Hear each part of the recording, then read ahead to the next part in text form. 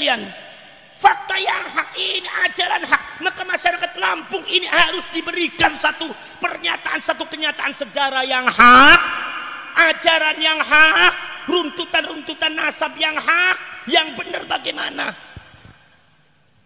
Sementara ini yang hak ini banyak ditutupi. Satu oleh orang-orang yang punya madhab transnasional datang dari luar terlalu membangga-banggakan Afghanistan, terlalu membangga-banggakan Libya, terlalu membangga-banggakan gerakan yang ada di Syria dan Irak, terlalu membangga-banggakan akidah-akidah dan gerakan-gerakan orang-orang madhab yang di dunia tidak jelas. Tapi justru manhaj ideologi daripada agama Islam yang ditanamkan oleh para leluhur yang bisa menyatukan dari Sabang sampai Merauke ribuan pulau, ribuan pulau, ratusan bahasa, ribuan suku ternyata diabaikan, sudah ditutup oleh framing-framing keislaman yang tidak jelas. Termasuk saudara-saudara sekalian. Nomor duanya adalah yang menutup itu sejarah Indonesia adalah Keramba Alwi yang disebut oleh kalian semua habaib. Saya katakan seperti ini saya bicara yang hak. Bukan berarti saya benci sama Habib. Tidak. Kalau seumpama Habib tidak tidak mau dinilai oleh orang Indonesia seperti itu anda jangan berbuat seperti itu. Sejarah Indonesia Masya Allah ditenggelamkan di framing sedemikian rupa membutakan masyarakat Lampung Indonesia tanpa Habib tidak bisa merdeka. Padahal Habib datangnya abad ke-19 didatangkan oleh Belanda makanya naik kapal juga gratisan dari Belanda. Sampai di Indonesia dikasih tanah tanah Belanda kerjanya kerja sama Belanda. Di dalam sejarah mereka selalu membelok kepada Belanda selalu membela Belanda. Kenapa? karena yang memberi kehidupan adalah Belanda. Maklum maklum tapi ente juga harus tahu diri Jangan suka memframing, ini tanah orang Lampung, ini tanah Sumatera, ini tanah leluhur kita. Jangan di framing tanahnya ente, ini datang abad 19. Di framing sedemikian rupa buta itu masyarakat Lampung itu. Saudara-saudara sekalian, Indonesia sudah punya Tarnate Islam, Sultan Babulul Islam. Indonesia sudah punya Sultan Bone Islam. Indonesia sudah punya Samudra Pasai Islam. Indonesia sudah punya sultan-sultan yang menyebar yang ada di Maluku Islam. Semuanya Islam. Sebab sejak abad ke-9, abad ke-13, sebelum Habib datang di Indonesia, Indonesia sudah kubunya peradaban dan kebesaran atas nama Islam. Jadi kalau ada oknum Habib yang mengatakan tanpa Habib Indonesia tidak akan kenal agama Islam, tidak kenal Allah, tidak kenal Rasulullah. Ini adalah oknum Habib yang membodohi masyarakat Lampung. Jangan percaya karena Anda akan semakin bodoh. Saudara-saudara sekalian, ini fakta sejarah. Saudara-saudara sekalian, apalagi sekarang sudah lagi diusung masalah yang berkaitan dengan Ba'ali Habaib, fakta sejarah, data-data sejarah, fakta ilmu dan teknologi yang tidak bisa dibantah dengan logika, yang bisa dibantah dengan akal manusia, yang tidak bisa dibantah dengan ilmu dan teknologi manusia, bahwa mereka semua bukan cucunya Rasulullah. Kalau kalian mengatakan Habib cucunya Rasulullah, dosa besar kalian. Apa sebabnya? Kata Rasulullah, "Man da'a ila ghairi abihi fal jannatu haramun alaih." Barang siapa yang mengaku-ngaku yang bukan bapaknya, maka surga haram bagi dia. Orang yang mengaku bukan bapaknya, saya ini adalah anaknya Gus Dur padahal bukan anaknya Gus Dur. Maka surga haram bagi dia itu kata Rasulullah. Itu kepada Gus Dur apalagi kepada Rasulullah? Maka di sana orang-orang yang masih terframing dibodohi dengan dengan mengatakan cucunya Rasulullah. Mereka akan diharamkan masuk surga oleh Rasulullah. Karena sampai detik ini belum terbukti dan tidak terbukti bahwa Abah itu cucunya Rasulullah. Saya mau cerita ini proses tes DNA itu sudah terbukti baik dari luar negeri yang ada di Mesir, yang ada di Hijaz Madinah, yang ada di Syria, yang ada di Pakistan, termasuk yang ada di Yamannya sendiri. Mereka sudah menyatakan Ba'alwi Habaib. Itu bukan cucunya Rasulullah. Di Timur Tengah, di Mesir, di Irak sudah selesai dari dulu. Yang namanya Habaib Ba'alwi bukan cucunya Rasulullah. Di Indonesia sudah selesai. Makanya orang Arab bingung kenapa di Indonesia ribut. Di sini mah udah selesai. Kata saya orang Indonesia orangnya wangkot-wangkot rewel-rewel mung bisa keplok baik petakilannya luar biasa paling bisa keplok tok sudah selesai kenapa dipermasalahkan ya oh memang Indonesia keadaan seperti itu mau diperbudak oleh orang lain mau direndahkan oleh orang lain mau jadi budaknya orang lain mau jadi jongosnya orang lain. Sejarah leluhurnya dibelok-belokkan, dikabur-kaburkan demi untuk mencintai Ba'alwi dan Habaib. Akhirnya kalian semakin dalam, semakin dalam dalam kesesatan. Habaib, Ba'alwi bukan cucunya Rasulullah karena DNA-nya tidak sama. Kalau kalian tidak mau percaya sama hasil tes DNA uji laboratorium, kalian tidak usah percaya sama golongan darah kalian. Saudara-saudara sekalian, akhirnya kemudian apa? Kemudian rahasia rahasia Palestina itu kekuatan Palestina akhirnya dibongkar semua, diberikan kepada Zionis Israel. Akhirnya Israel itu dari dalam sudah mulai menguasai ekonomi, sudah memulai lahan-lahan ekonomi, termasuk pertahanan, termasuk geologi, termasuk politik, sudah dikuasai semua. Pada akhirnya Syekh Fadil Abdullah ketahuan dijebak oleh orang apa intelijen Palestina ternyata beliau adalah mata-mata Zionis begitu oleh Palestina masyarakat Palestina dan Mesir oleh militer dan elit intelijen Mesir dan Palestina bahwa Syekh Fadil Abdullah itu adalah mata-mata Yahudi yang berbahaya bagi kalian. Itu murhibitnya marah semua. Perang di situ Akhirnya sedikit demi sedikit diberikan pencerahan, bukti-bukti nyatanya ditunjukkan oleh pemerintah Palestina, bukti-bukti nyatanya ditunjukkan oleh para intelijen Mesir. Masyarakat semakin tercerahkan. Akhirnya Syekh Fadil Abdullah ditangkap, akhirnya kemudian diusul dihukum gantung mati. Saudara-saudara sekalian, lah apa yang terjadi di Palestina tahun 46 48 itu persis terjadi di Indonesia di di, di Lampung. Klaim sejarah sudah dilakukan oleh oknum Ba'alwi. Klaim makam sudah dilakukan oleh oknum Ba'alwi. Ribuan makam atas nama Ba'alwi. Ada makam ini Habib ini bin ini bin Yahya. Habib ini bin ini As-Segaf. Habib ini bin Al-Munawar. Seantero Indonesia dari mulai Jawa sampai Kalimantan Sumatera. Itu makamnya leluhur Indonesia. Dihabibkan semua. Itu omong kosong. Kalau tidak ada tujuan omong kosong. Apalagi genetika mereka sama dengan Zionis. Apa? Yaitu genetika Yahudi Askenazi. Genetikanya sama. Modus operandinya sama. Kalau kita teledor, jangan-jangan di masa yang akan datang, anak cucu kita akan seperti nasibnya sama dengan Palestina. Na'udzubillah. Maka sekarang kita bangkitkan melalui perjuangan Wali Songo Indonesia dan Laskar Sabillah. Bangkitkan masyarakat Indonesia melekakan masyarakat Indonesia, bangunkan masyarakat Indonesia dari ter, dari tidurnya yang sangat lama, lebih daripada ratusan tahun, dibuai, didoktrin dengan doktrin yang tidak benar. Maka Laskar Sabillah harus tampil sebagai pahlawan untuk menyelamatkan bangsa Indonesia. Jangan sampai anak cucu kita bernasib sama dengan Palestina. Na'udzubillah min. Na'udzubillah min. Assalamualaikum warahmatullahi wabarakatuh. Alhamdulillah, Alhamdulillah alamin, hamdan wa syukurillah, wa salatu wa salamu ala rasulillah, amma ba'du. Alhamdulillah alamin, berjumpa lagi di channel Prima Syarmania Lampung. Bagaimana kabar teman-teman semuanya hari ini? Semoga teman-teman semua dalam lindungan Allah Subhanahu wa Ta'ala dan selalu dalam keadaan sehat walafiat di mana pun teman-teman berada. Amin ya Rabbal Alamin. Baiklah, pada video kali ini akan menayangkan acara gebiar sholawat wali songo dan silaturahim akbar Laskar Sabilillah dalam rangka pengukuhan Laskar Sabilillah yang diisi langsung oleh beliau Dr. Kiai Haji Muhammad Abbas Biliasi dari Buntet Cirebon yang berlokasikan di lapangan sepak bola Desa Banjarsari, Kecamatan Natar, Kabupaten Lampung Selatan dan alhamdulillah acara ini berjalan dengan lancar. Baiklah, untuk mempersingkat waktu, mari kita bersama dengarkan Mo'ido Hasanah Dr. Kiai Muhammad Abbas Biliasi sampai selesai. Supaya tidak gagal paham, mari kita dengarkan videonya sampai habis dan jangan lupa selalu menggunakan headset supaya teman-teman bisa lebih fokus mendengarkannya. Dan saran dari saya, tonton sampai selesai ya teman-teman. Baiklah, selamat mendengarkan. Oke teman-teman, mari kita simak bersama Moida Sanah beliau yang disampaikan oleh Gus Abbas Buntet Cirebon. Mari kita simak bersama.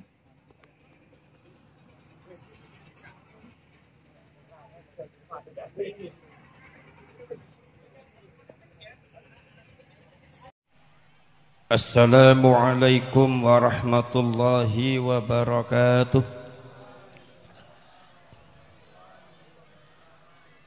Bismillahirrahmanirrahim Alhamdulillah wa syukrulillah والصلاة والسلام على سيدنا محمد بن عبد الله وعلى آله وأصحابه ومن والاه لا حول ولا قوة إلا بالله رب اشرح لي صدري ويسر لي أمري واحلل عقدة من لساني يفقه Subhanaka la ilma lana illa ma 'allamtana innaka antal alimul hakim. Wa ba'd. Ma'asyiral mukarramin, para alim ulama, para kiai, para sepuh, bini sepuh. Pejabat pemerintah, Bapak Bupati atau yang mewakili Bapak Sekda dari keluarga besar Polda Provinsi Lampung atau yang mewakili yang saya hormati, pengurus besar Nahdlatul Ulama, dan para pengurus Nahdlatul Ulama Pagar Nusa Banser wabil khusus anggota PWI Laskar Sabilillah Provinsi Lampung masyarakat Banjarsari masyarakat Natar Alhamdulillah. Kita semua berkumpul berkat rahmat Allah Subhanahu wa taala dalam acara yang penuh dengan makna ini. Mudah-mudahan kita semua diberkati oleh Allah Subhanahu wa taala. Rahmah inayah maunah. Minat dunya ilal akhirah. Allahumma amin ya rabbal alamin Salawat dan salam marilah kita sampaikan kepada baginda agung Nabi besar Muhammad sallallahu alaihi wasallam. Mudah-mudahan kita semua termasuk orang-orang yang akan mendapatkan syafaat beliau di hari akhirat nanti. Allahumma amina ya rabbal Saudara-saudara sekalian Gusti Allah itu ngajari agama yang disebut agama yang hak Agama Islam itu agama yang hak Karena agama Islam itu turun dari Allah Subhanahu wa taala. Allahnya disebut juga Tuhan pangeran yang hak. Maka Al-Quran sebagai pedoman agama diturunkan oleh Allah adalah kitabullahil haq. Kitabnya Allah yang hak. Kemudian kanjeng nabinya disebut an-nabiyul haq, nabi yang hak ajarannya juga disebut ajaran yang hak al-haq Al-Imam Abdul Hussein Ahmad bin Faris Az-Zahrawi seorang ulama besar abad ketiga Hijriyah memiliki kitab Maqayisul Lughah barometer kefasihan bahasa Arab. Itu sampai 48 jilid. Makanya disimpulkan diringkas oleh muridnya menjadi empat jilid. Namanya kitab Mu'jamul Maqayis. Imam Abdul Husain Ahmad bin Faris Az-Zahrawi mengatakan al-haq itu kadang-kadang diucapkan lil mujidi syai'i. Diucapkan untuk Allah yang mewujudkan segala sesuatu. Bisa babi ma taqtadihil hikmah. Dengan satu sebab keberadaan Allah Subhanahu wa taala bisa dipelajari dengan hikmah yang telah diturunkan oleh Allah. Hikmah yang diturunkan oleh Allah keberadaan Allah ini bisa dipelajari dengan satu rangkaian daripada fenomena alam, kejadian daripada kejadian di dunia, siklus alam, sejarah perjalanan hidup manusia, termasuk juga tertib di dalam khalqis samawati wal ard tertib runtutan fenomena-fenomena runtutan siklus kejadian langit dan bumi itu semuanya saudara-saudara sekalian itu bisa menunjukkan adanya Allah. Bisa menunjukkan adanya Allah. Di mana keberadaan Allah tidak bisa dibantah dengan logika manusia. Di mana keberadaan Allah tidak bisa dibantah dengan akal manusia, di mana keberadaan Allah tidak bisa dibantah dengan ilmu dan teknologi manusia semakin akal dipakai oleh umat manusia semakin akan menemukan Allah semakin ilmu maju teknologi semakin maju maka manusia akan semakin mudah untuk menemukan Allah. Maka kita sebagai umat Islam adanya teknologi maju diturunkan dari Allah Subhanahu wa taala dalam rangka mencerdaskan manusia untuk mengenal siapa Tuhan yang sebenarnya. Makanya Allah disebutnya al-haq keberadaan Allah tidak bisa dibantah dengan logika akal manusia dan teknologi manusia. Karena akal logika teknologi adalah dari Allah Subhanahu wa taala. Makanya kita jangan suka membantah yang hak. Jangan suka membantah ilmu sesuatu yang bil ilmi dengan ilmu. Jangan dibantah. Membantah ilmu membantah Allah. Apa sebabnya? Sebab ilmu itu salah satu sifat daripada Allah wujud kita baqa mukhalafatul lil hawadithi qiyamuhu binafs sihi wahdaniyat kudrat iradat ilmu hayat Membata ilmu itu membata Allah. Kalian tidak akan menang. Sehebat apa pun kalian. Sekuat apa pun kalian. Sepinter sealim apa pun kalian. Sekaya apa pun kalian. Bagaimana rekayasa kalian yang sangat canggih. Dibuat semua semua dire apa di framing semuanya, dibelokkan semuanya, tapi Allah Maha Hak memiliki ilmu yang sangat luar biasa. Menghadapi atau menentang ilmu adalah sama dengan menentang Allah, tidak akan menang. Agama Islam disebutnya agama al-haq. Apa sebabnya? Kebenaran agama Islam itu tidak bertentangan dengan logika dan akal. Kebenaran agama Islam itu itu bisa dibuktikan dengan logika dan akal manusia. Tidak akan bisa dibantah dengan logika dan akal manusia. Semakin logika dan akal manusia semakin maju, teknologinya semakin maju dan berkembang. Di situ akan terbukti bahwa agama Allah, yaitu agama Islam adalah agama yang benar. Jadi Allah ini akan membuktikan agamanya sendiri bahwa agama itu benar. Saudara-saudara sekalian,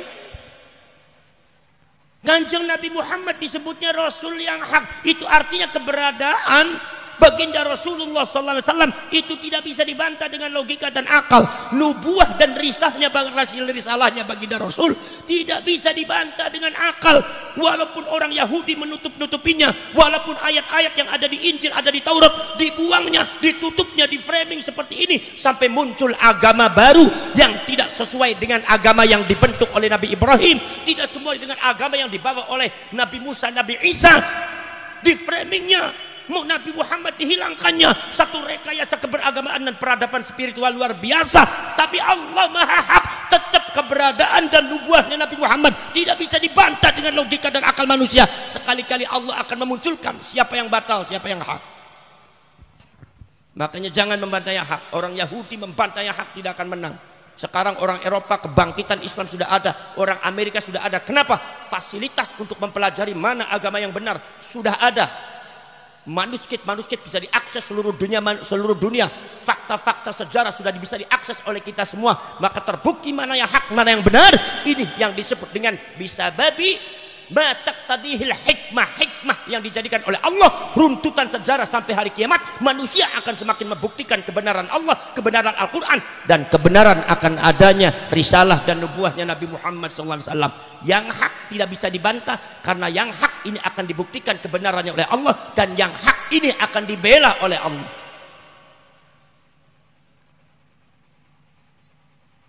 kita melihat Nabi Muhammad tidak punya apa-apa pada waktu berjuang gak punya apa-apa. Kenapa? Karena Nabi Muhammad itu bukan pemimpin yang menghambur-hamburkan kekayaan, bukan pemimpin yang suka menjual agama demi dunia, bukan per, apa bukan orang yang memalak orang untuk atas nama agama, meminta orang secara paksa atas nama surga dan neraka, tidak. Doanya Kanjeng Nabi Muhammad yang tidak pernah diucapkan oleh masyarakat Lampung. Doa apa? Doa nyuwun dados tiang melarat niki ora pernah diucapkan marang sampean saya tanya kiai-kiai Lampung Tengah kira-kira ada tidak berani tidak berdoa kepada Allah minta melarat minta miskin minta melarat berani apa tidak pasti nggak akan berani Makanya nggak ada kiai yang berdoa dengan doanya Rasulullah minta melarat nggak ada. Rasulullah tegas, Allahumma ahyini miskina wa amitni miskina wahsyurni fi zumratil masakin. Masuk surga sangat mudah bagi orang miskin ya Rasulullah. Jadikan aku orang miskin saja, hidupkan aku dengan orang miskin jadi orang miskin. Matikanlah aku jadi orang miskin, kumpulkanlah aku bersama golongannya orang-orang miskin. Karena orang miskin, orang fakir, ikut banyak masuk surga. Masuk surga gampang. Sing sugi-sugi ke sing kadang-kadang rada mumet ya angel. Kadang-kadang nek wong wis sugi duit-duit sing mau nek alim jadi petakilan, sing mau nek bodoh tadi ngerasa paling pinter selampung tengah. Kiai diremehkan, gara-gara apa ya? Gara-gara sugi ngaji ora pernah kiai disalah-salah ku margi nopo? Margi mobil anak sepuluh. Ngaji tau ora pernah? Iki bisa merusak mental. Kacung nabi udah kayak gue pak Artinya apa? Tapi kanjeng Nabi melawan memalam pembelokan-pembelokan sejarah spiritual, pembelokan agama Allah yang ada di sekitar Quraisy, di sekitar Arab mengalami satu resiko yang sangat besar. Pada akhirnya Allah membela Nabi Muhammad dan agama Islam tersebar di seluruh dunia menjadi agama yang insya Allah akan paling besar di dunia ini. Padahal kanjeng Nabi nggak punya apa-apa. Kenapa sebabnya? Sebab Rasulullah membela yang hak. Jadi kalau anda membela yang hak jangan khawatir pasti dibela oleh Allah dan pasti dimenangkan. Saudara-saudara kalian, Nabi Musa itu nggak punya apa-apa. Nabi Harun itu orangnya miskin. Yang dilawan oleh Nabi Harun dengan Nabi Musa siapa? Fir'aun. Ya Musa idhab ila fir'auna innahu tagha faqul hannaka ila an tazakka wa ahdiyaka ila rabbika fatakhsha Kamu datang Musa kepada Fir'aun katakan apa kamu mau kembali kepada Tuhanmu apa kamu mau kembali menyucikan diri di depan Tuhanmu sehingga kamu takut kepada Tuhanmu? Walaupun akhirnya Fir'aun tidak nurut, mengancam-ngancam Nabi Musa, memperkosa Nabi Musa, mengusir Nabi Musa, mengerahkan pasukannya untuk untuk membunuh Nabi Musa. Tapi tidak berhasil dalam sejarah. Kenapa sebab Nabi Musa memegang yang hak Fir'aun sesugi apa pun, sekaya apa pun akan ditumbangkan oleh Allah melawan Nabi Musa yang sangat miskin, sangat fakir, tapi karena membela yang hak, hak ini adalah dibela oleh Allah Subhanahu wa taala. Saudara-saudara sekalian, ini bicara yang hak. Maka saudara-saudara kalian, fakta yang hak ini ajaran hak, maka masyarakat Lampung ini harus diberikan satu pernyataan, satu kenyataan sejarah yang hak ajaran yang hak, runtutan-runtutan nasab yang hak, yang benar bagaimana? Sementara ini yang hak ini banyak ditutupi. Satu oleh orang-orang yang punya madhab transnasional datang dari luar terlalu membangga-banggakan Afghanistan, terlalu membangga-banggakan Libya, terlalu membangga-banggakan gerakan yang ada di Syria dan Irak, terlalu membangga-banggakan akidah-akidah dan gerakan-gerakan orang-orang madhab yang di dunia tidak jelas.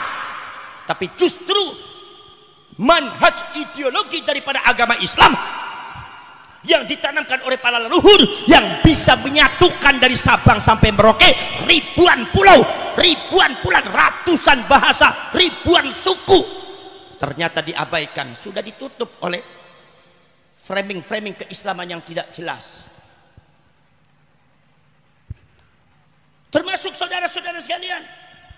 Nomor duanya adalah yang menutup itu sejarah Indonesia adalah kelam Ba'ali yang disebut oleh kalian semua habaib.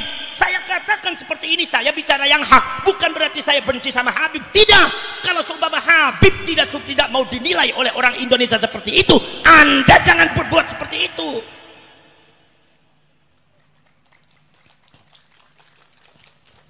Sejarah Indonesia Masya Allah ditenggelamkan di framing sedemikian rupa membutakan masyarakat Lampung. Indonesia tanpa Habib tidak bisa merdeka. Padahal Habib datangnya abad ke-19. Didatangkan oleh Belanda. Makanya naik kapal juga gratisan dari Belanda. Sampai di Indonesia dikasih tanah. Tanah Belanda. Kerjanya kerja sama Belanda. Di dalam sejarah mereka selalu membelok kepada Belanda. Selalu membela Belanda. Kenapa? Karena yang memberi kehidupan adalah Belanda. Maklum, maklum. Tapi ente juga harus tahu diri. Jangan suka memframing, ini tanah orang Lampung, ini tanah Sumatera, ini tanah leluhur kita. Jangan di framing tanahnya ente, ini datang abad ke-19. Di framing sedemikian rupa, buta itu masyarakat Lampung itu. Saudara-saudara sekalian, Sampai ada yang mengatakan bahwasanya kalau semua tidak ada Habib, orang Indonesia tidak kenal agama, tidak kenal Islam, tidak kenal Allah. Ini orang semacam ini adalah kadzab, pembohong besar. Orang yang suka ngedabrus. Jangan dipercaya. Sebelum Habaib datang, Indonesia sudah punya peradaban Islam lebih maju daripada negaranya Habib yaitu Yaman. Punya Majapahit Islam, punya Mataram Islam, Kesultanan Demak Islam, Kesultanan Cirebon Islam, Kesultanan Banten Islam, Kesultanan Lampung Islam, Sultan Raden uh, uh, nomor Raden Intan Islam. Sultan Raden Intan ini saudara-saudara kalian masih cucunya Ratu Darah Putih. Mbak Ratu Darah Putih itu adalah garwanya Sunan Gunung Jati. Keluarga daripada Ratu Darah Putih yang ada di Lampung itu masih misan saya. Maksimisane kulo. Saudara-saudara sekalian, Indonesia sudah punya Tarnate Islam, Sultan Babulol Islam. Indonesia sudah punya Sultan Bone Islam. Indonesia sudah punya Samudra Pasai Islam. Indonesia sudah punya sultan-sultan yang menyebar yang ada di Maluku Islam. Semuanya Islam. Sebab sejak abad ke-9, abad ke-13 sebelum Habib datang di Indonesia, Indonesia sudah kubunya peradaban dan kebesaran atas nama Islam. Jadi kalau ada oknum Habib yang mengatakan tanpa Habib Indonesia tidak akan kenal agama Islam, tidak kenal Allah, tidak kenal Rasulullah. Ini adalah oknum Habib yang membodohi masyarakat Lampung. Jangan percaya karena Anda akan semakin bodoh.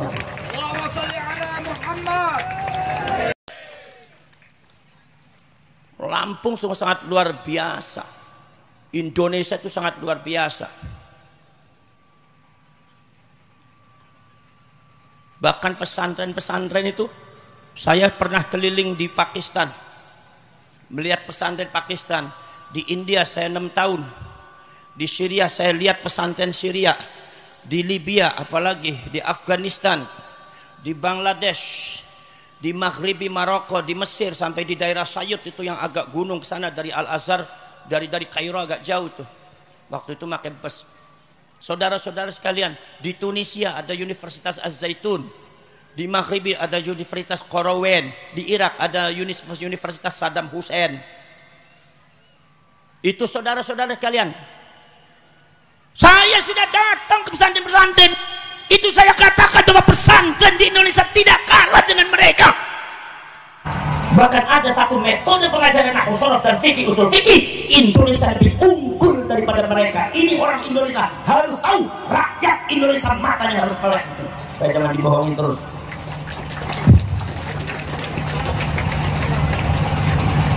Makanya saya kadang-kadang agak sedikit marah kalau sebelum ada mengatakan Wah itu namanya pesantren Indonesia itu pesantren kampung. Kampung dari mana?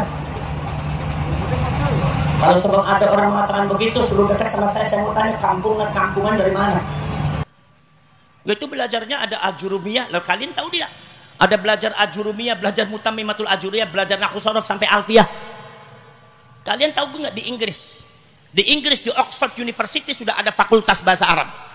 Itu pada waktu itu pembukaannya tahun 19, uh, 1998 kalau nggak salah. Saya diundang dalam grand opening of Arabic Faculty in Oxford University. Begitu saya buka sampai di sana, ternyata subhanallah silabusnya kurikulumnya persis pesantren yang ada di Lampung. Tidak ada bedanya kitab Ajurumiyah, kitab Nahwul Wadih, kitab Ad-Durusul Arabiyah, termasuk juga kitab Kawakibud Duriyah, termasuk kitab Ibnu Aqil, Ibnu Malik, kitab sorofnya juga sama. Bahkan pengajian kitab sorofnya lebih lebih efektif kita daripada mereka. Bahkan S3-nya di sana, tingkat doktornya, PhD-nya, tingkat doktornya S3-nya adalah tingkatannya adalah Imam Ibnu Aqil dengan Imam Ibnu Malik. Itu pun Nazam Ibnu Maliknya tidak dihafalkan. S3 keluaran S3 Oxford Hatam Ibnu Akil tapi tidak hafal Alfiah Ibnu Malik. Bayangkan di Lampung sudahlah Ibnu Akil diaji berkali-kali ditambah nazarnya hafal. Artinya kualitas pesantren kita lebih hebat lebih unggul dari kualitas Universitas Oxford yang ada di Inggris masalah bahasa Arab. Saya ketemu dengan salah satu profesor bahasa Arab yang menurut saya biasa-biasa saja kayak Kata orang ini pinter alim biasa-biasa aja. Kalau menerangkan tentang masalah, tentang masalah apa, orang saya menjelaskan. Di depan saya itu menjelaskan apa? tiba-tiba menjelaskan yang namanya i'rab dan alamat i'rab. Itu dikiranya i'rab dan alamat i'rab sudah luar biasa itu menurut dia. Begitu dia menjelasin, saya langsung mengungkapkan nazomnya. Nazom itu nazom imritinya. Nggak usah pakai penjelasan, pakai kitab. Li raf'i min hadhammatun wawun alif kadza kanunun sabitun lamun hadif. Fadhammu fismin mufradun ka fismin mufradin ka ahmadu wa jam'i taksirin ka ja'al a'budu. Itu langsung melonjak, Masya Allah. Antum betul-betul pintar. Waduh, Padahal itu tingkat imriti, tingkat sanawiyah di Indonesia. Profesor di luar negeri bingung itu. Saya bilang ini belum alfiahnya. Belum kalamuna lafdu mufidun kastakim. Belum jauharul makmunnya. Fasohatul mufrodi ayyak nusamin tanafunu gharabatul hufizukin. Orang Indonesia di pesantren itu. Sanawiyah itu sudah hafal imriti Kelas 1 Aliyah Ibnu Malik sudah hafal, sudah hafal semua. Sampai kelas 2 itu yang namanya Jauharul Maknun itu sudah hafal. Uqudul Jumal Jawahirul Balagho, kitab-kitab ma'ani, kitab-kitab sastra sudah dibaca. Kitab Dawawin, Diwanul Mutanabbi, Diwanu Abi Esha, Wadima, Diwanu Syafi'in. Semua sudah dibaca ilmu istiqaq juga ada. Di sana kaget Pak orang India terbengang-bengang, orang mesin nggak bisa bicara Pak. Ente nih dikiranya orang Indonesia nggak ngerti nahu sorof saya. Akhirnya alhamdulillah saya juga waktu di luar banyak punya murid murid dari luar negeri bahkan dari orang Arabnya sendiri. Jadi orang Arabnya ngaji sama saya ngaji nahu sorof. Masa orang Arab ngaji nahu sorof sama saya gimana itu urusannya? Tapi masalah ilmu artinya apa? Indonesia itu sangat luar biasa. Saudara-saudara sekalian, ini fakta sejarah. Saudara-saudara kalian, Apalagi sekarang sudah lagi usut masalah yang berkaitan dengan bahaya habaib, fakta sejarah, data-data sejarah, fakta ilmu dan teknologi yang tidak bisa dibantah dengan logika, yang tidak bisa dibantah dengan akal manusia, yang tidak bisa dibantah dengan ilmu dan teknologi manusia. Bahwa mereka semua bukan cucunya Rasulullah. Kalau kalian mengatakan Habib cucunya Rasulullah, dosa besar kalian.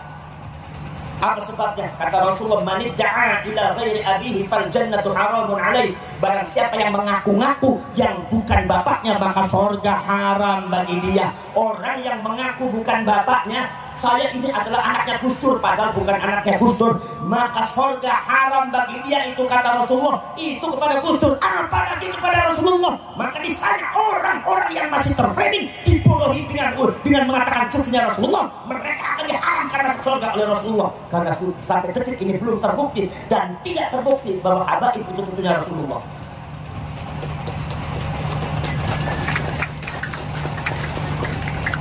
Ya wong-wong Indonesia tak bisa mau keblok bar keblok yang rawani apa-apa di persekusi dijaluki duit marah Habibnya dipaksa-paksa ya terima baik nanti toko mobilnya juga kabur nanti anak semua ratusan juta yang menang baik tapi sampai mau mampu mau keblok tok mampu hampir. Selain keblok orang mampu. Harus keblok bersimpan terus mampu itu mungkin apa badan dasmu poros orang poros seterusnya Saya mau cerita. Ini proses tes DNA itu sudah terbukti.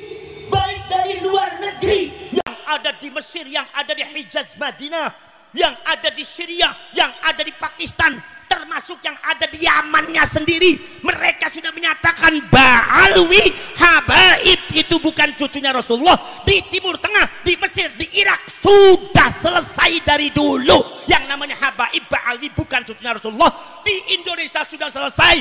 Makanya orang Arab bingung kenapa di Indonesia ribut. Di sini mah udah selesai. Kata saya orang Indonesia orangnya wangkot-wangkot rewel-rewel Mung bisa keplok baik petakilannya luar biasa paling bisa keplok tok. Sudah selesai, kenapa dipermasalahkan? Ya, oh memang Indonesia keadaan seperti itu. Mau diperbudak oleh orang lain. Mau direndahkan oleh orang lain. Mau jadi budaknya orang lain. Mau jadi jongosnya orang lain. Sejarah leluhurnya dibelok-belokkan. Dikabul-kabulkan demi untuk mencintai Ba'alwi dan Habaib. Akhirnya kalian semakin dalam, semakin dalam dalam kesesatan. Habaib Ba'alwi bukan cucunya Rasulullah karena DNA-nya tidak sama.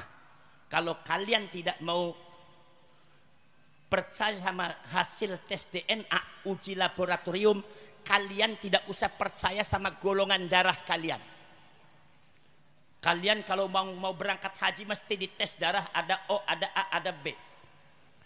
Kalau seumpama penyakitnya lambung, kamu darahnya apa? Darah O. Darahnya O untuk darah O obat lambungnya ini. Kalau untuk darah A dan AB obat lambungnya ini, untuk AB obat lambung ini. Enggak boleh salah. Kalau kita sebagai darah O minum obat lambung, obat lambungnya orang yang darah A bisa iritasi kontraproduktif akhirnya. Akhirnya kita bisa pingsan. Kenapa? Sebab darahnya tidak sama, kontradiksi. Maka dari itu darah oh ini adalah teknologi yang real yang tidak bisa dibantah dengan logika dan akal manusia. Termasuk tes DNA. Yang namanya orang itu kalau periksa darah 2 jam sudah kena. Tapi tes DNA tidak cukup 10 hari. 15 hari. Ada yang sampai satu bulan baru jelas. Itu artinya tes DNA lebih teliti, lebih lebih detail daripada sekedar tes darah ini adalah teknologi yang tidak bisa dibantah dengan akal manusia, tidak bisa dibantah dengan logika manusia, tidak bisa dibantah dengan ilmu manusia kecuali orang-orang bodoh. Kalau kalian tidak mau, kalau kalian tidak mau menerima teknologi, nggak usah pakai motor, nggak usah pakai mesin, apa nggak pakai pakai mobil. Kalian mau jalan-jalan ke Jakarta pakai kuda aja. Kalian tidak usah pakai HP, wis nganggo ulek-ulek pela menelpon sampean, remak-remak kuping. Mungkin apa mbak Jadi saudara-saudara sekalian itu saya mau cerita fakta yang ada tahun 1945 sebetulnya imigran itu datangnya sejak tahun 1920 apa imigran Yahudi datang ke Palestina ini dengerin nih tahun 1945 ada di antara berkali-kali untuk kesekian kalinya kapal dari Eropa dan Jerman datang. Membawa orang yang sangat banyak. Orangnya kurus-kurus lusuh. Banyak yang belum makan. Begitu datang di pelabuhan namanya pelabuhan Haifa di Palestina begitu turun mereka semua yang ada di kapal itu membentangkan sepanduk apa tulisannya? Tulisannya adalah kami diusir oleh orang Eropa. Kami dikejar dibunuh oleh orang Jerman. Wahai masyarakat Palestina, jangan pupuskan harapan kami untuk hidup di Palestina. Ternyata dilihat adalah orang-orang yang di Askenazi yang dibunuh di Eropa, yang diusir di Eropa, yang dibunuh oleh Nazi Jerman. Mereka pada pindah eksodas dari Eropa menuju ke Palestina. Ribuan bahkan ratusan ribu orang Yahudi. Dengan membentangkan sebuah sepanduk. Mereka ingin hidup bersama di Palestina. Jangan sampai diusir. Karena mereka sudah diusir di Eropa. Masyarakat Palestina pada waktu itu masih belum tahu. Bagaimana ceritanya apa? Ceritanya Yahudi Askenazi. Kenapa? Maklum. Kenapa? Karena waktu itu teknologi belum sempurna. Karena waktu itu HP masih belum ada. Karena waktu itu internet masih belum ada. Komunikasi antar negara masih terbatas. Akhirnya karena masyarakat Palestina orangnya baik. Orang Palestina orangnya baik. Toleransinya sangat baik di, di dalam Palestina itu ada Masjidil Aqsa tapi ada juga Haikal Sulaiman. Ada juga di situs-situs-situsnya orang Yahudi. Jadi orang Palestina sudah akrab dengan kehidupan-kehidupan Yahudi di situ pada waktu itu sama-sama hidup bersama bersejarah di mana Masjidil Aqsa itu diakui oleh tiga negara besar, Islam, Yahudi dan Nasrani. Dan itu nggak jadi masalah aman. Begitu mereka datang dari Eropa, minta diterima, maka orang Palestina menyambutnya ini supaya kalian tahu awal dan asal usulnya. Begitu disambut, akhirnya ada yang diberi tanah. Monggo sampean tempat di rumah saya ini. Diberikan tanah sampean bangun ini. Nanti pasirnya dari saya, ini batunya dari saya. Akhirnya dibangunkan rumah banyak ratusan ribu orang pengungsi daripada dari Eropa yaitu Yahudi Askenazi datang ke Palestina. Itu datangnya mulai mulai tahun 1920, puncaknya tahun 1948. Mereka hidup bersama tapi tiba-tiba orang Palestina itu dapat peringatan dari orang Eropa. Apa kata orang Eropa? Wahai orang Palestina, kami mengusir mereka bukan tanpa alasan.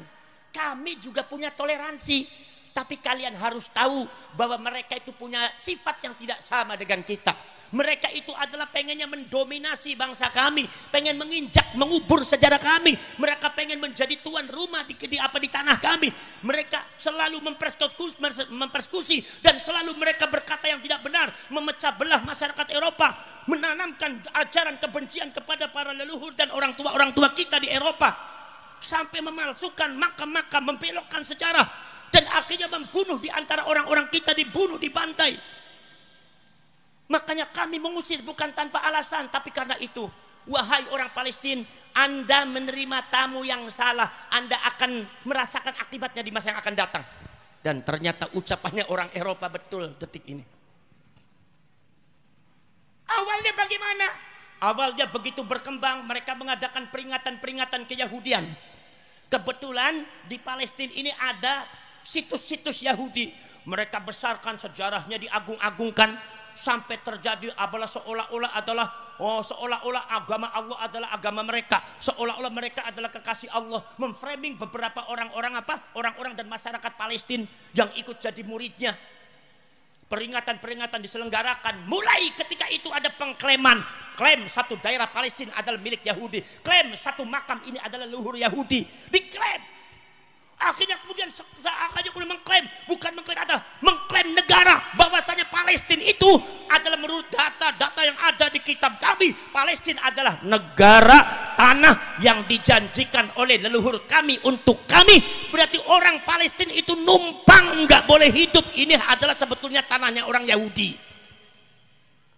Sejarahnya dibelokkan, makamnya dipalsukan, masyarakatnya di framing yang tidak benar Begitu ada gejolak yang sangat luar biasa, sebentar lagi mau diusir lagi, maka mereka meredam pergerakannya, kemudian mereka mengambil mata-mata Yahudi untuk mengendap-endap dari dalam membuka rahasia kekuatan Palestina.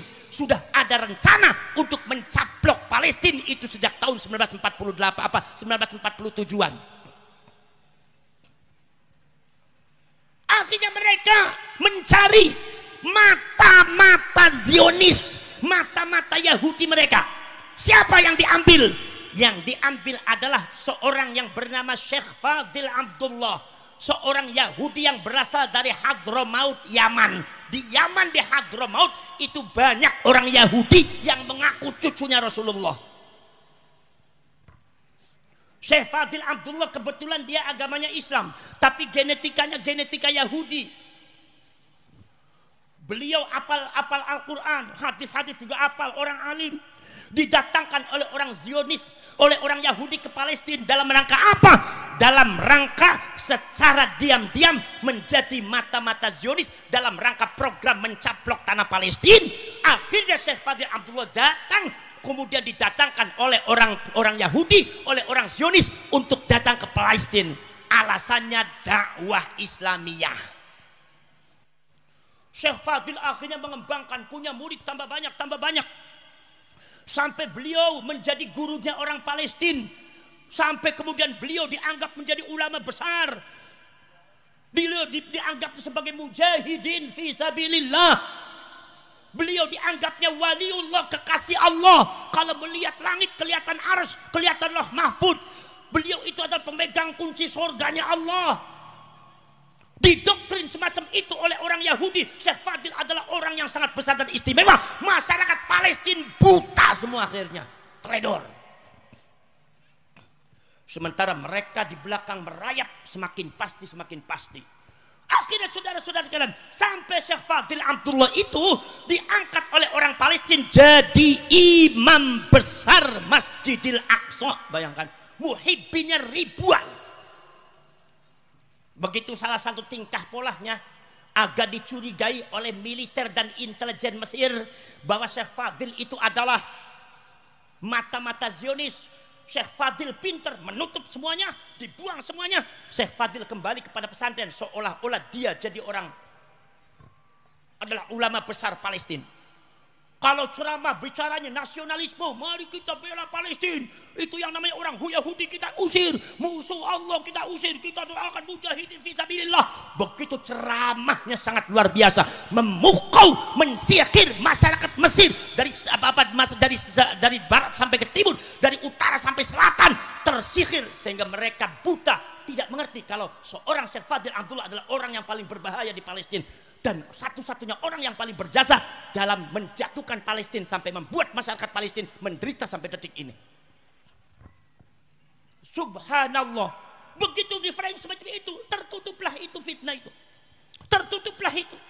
Akhirnya Syekh Fadil mendekati militer-militer Mesir, mendekati militer Palestina, kepolisian Mesir, kepolisian Palestina.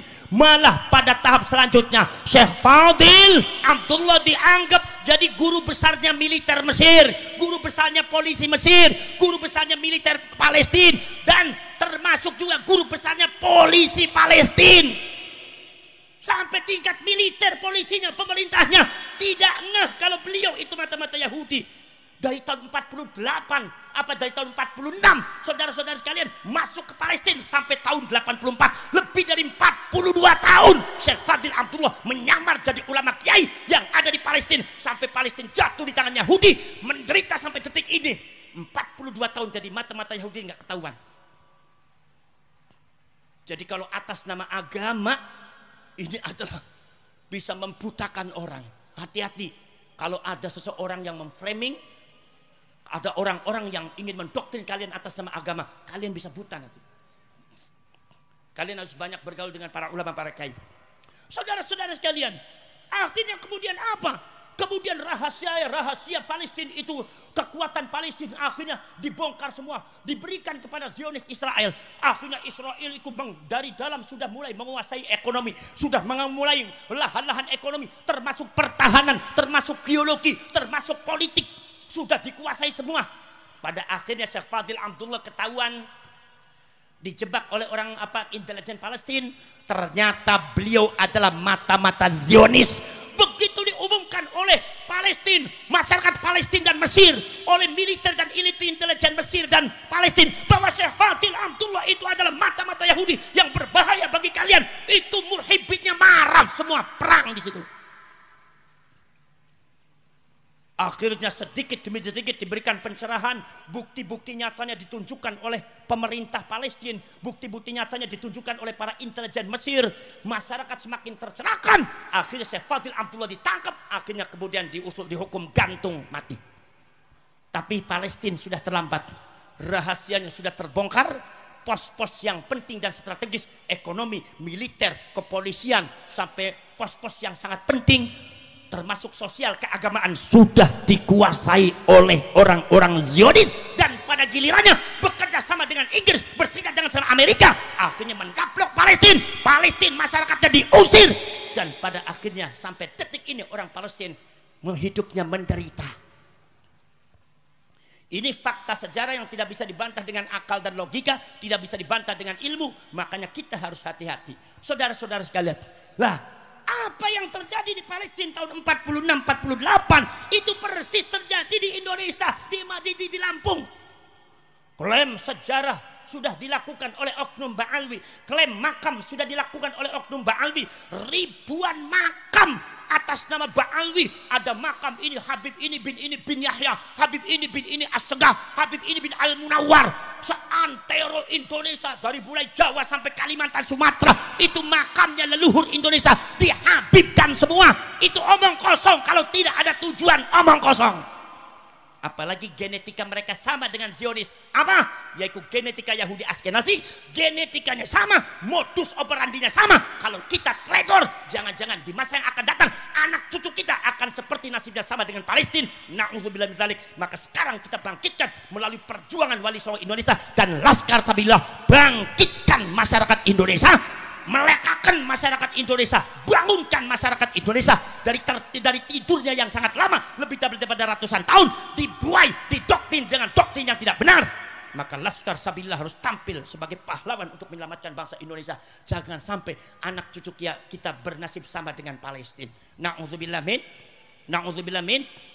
Jadi Sekarang nanti kita kerjasama dengan apa? Kita kerjasama dengan Densus 88. Kita kerjasama dengan pemerintah. Kita sama kerjasama dengan Pak Dandim dan Panglima Pang Panglima TNI. Kita kerjasama dengan pemerintah. Kita kerjasama nanti dengan staf-staf kepresidenan atau presiden dengan pemerintah pusat. Kita kerjasama dengan kepolisian. Kita kerjasama dengan BIN. Kita kerjasama dengan yang lainnya. Seluruh komponen yang ada di Indonesia. Kita tidak bisa bekerja sendiri. Kita tidak bisa menjadi pahlawan sendiri. Tapi kita harus mengawitkan seluruh komponen kekuatan rakyat Indonesia untuk menghentikan doktrin-doktrin yang tidak benar yang dilakukan oleh orang-orang Wahabi, yang dilakukan oleh orang-orang Ba'ali segera harus dihentikan karena ini berbahaya bagi bangsa Indonesia.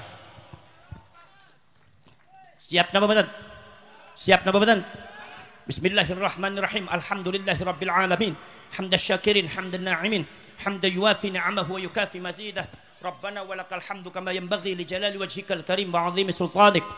Allahumma salli salatan kamila wa sallim salaman tamman على سيدنا محمد الذي تنحل بالعقد وتنفرج بالكرب وتقضى به الحوائج وتنال به الرغائب وحسن الخواتم يستسقى الغمام. بوجه الكريم وعلى آله وصحبه في كل لمحة ونفس بعدد كل معلوم لك. اللهم أرنا الحق حق وارزقنا اتباعه وأرنا الباطل باطلا وارزقنا اجتنابه. اللهم إنا نسألك رضاك والجنة ونعوذ بك من سخطك والنار ونعوذ بك من سخطك والنار ونعوذ بك من سخطك والنار. اللهم أحسن عاقبتنا في الأمور كلها وأجرنا من خزي الدنيا وعذاب الآخرة. اللهم لا تسلط علينا بذنوبنا من لا يخافك ولا يرحمنا. اللهم إنك عفو كريم. تحب العفو فاعف عنا يا كريم. اللهم اجعل خير أيامنا يوم نلقاك. وأنت راض عنا. واختم بالصالحات أعمالنا. واحشرنا مع المقربين. وألحقنا بالصالحين. وتوفنا مسلمين. واغفر لنا ولوالدينا ولجميع المسلمين والمسلمات والمؤمنين والمؤمنات. ربنا آتنا في الدنيا حسنة وفي الآخرة حسنة وقنا عذاب النار وأدخلنا الجنة مع الأبرار. يا عزيز يا غفار يا رب العالمين. وصلى الله على سيدنا محمد النبي الأمي وعلى آله وصحبه وبارك وسلم. هذا دعانا كما أمرتنا. فاستجب دعانا كما وعدتنا. إنك لا تخلف الميعاد. سبحان ربك رب العزة عما يصفون وسلام على المرسلين والحمد لله رب العالمين. الفاتحة.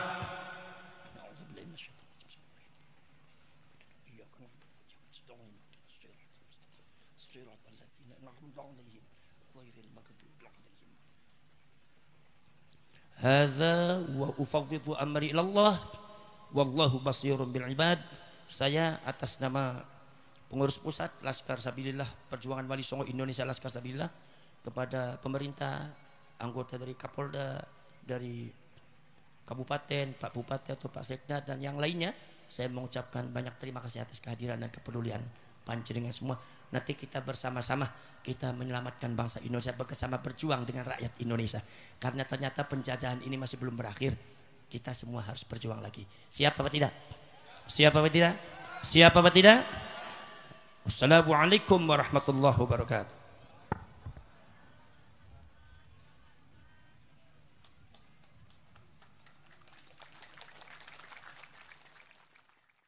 Alhamdulillahirrahmanirrahim telah selesai Mu'idu Hasanah beliau Dr. Kiai Haji Muhammad Abbas Biliasi. Demikianlah pada video kali ini semoga di video ini bisa bermanfaat apa yang disampaikan oleh Dr. Kiai Haji Muhammad Biliasi dan Semoga bisa menambah wawasan bagi kita semuanya. Amin. Allahumma amin. Di sini saya mohon maaf apabila ada kesalahan dalam penyebutan nama dan tempat serta pengeditan yang makan waktu lama. Jika teman-teman menyukai channel ini, support terus Prima Syahrimania Lampung. Subscribe channel ini jika channel ini bermanfaat share ke teman-teman Anda semua. Tinggalkan like dan komen di bawah jika teman-teman menyukai video di channel ini. Terima kasih atas perhatiannya. Saya pamit mengundurkan diri. Wassalamualaikum warahmatullahi wabarakatuh.